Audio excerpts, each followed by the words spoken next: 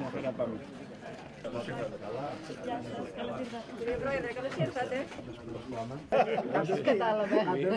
Είμαστε επικρατεία, λέω, θέλω να πω γιατί είχα βάλαμε στο επικρατεία μας έναν εινοποιό νέο. Το 1982, αυτό που ήταν αυτό,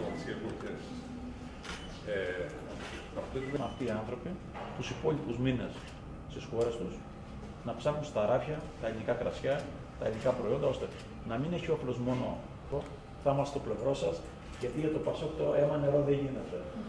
Η ερυθρή του φιλία, την οποία Η απάντηση του κ. Μητσοτάκη σε αυτά τα φαινόμενα, στην ανικανότητα να υπερασπιστούν τους πολίτες και τις περιουσίες τους, είναι η αλαζονία, η έλλειψη ενσυναίσθησης.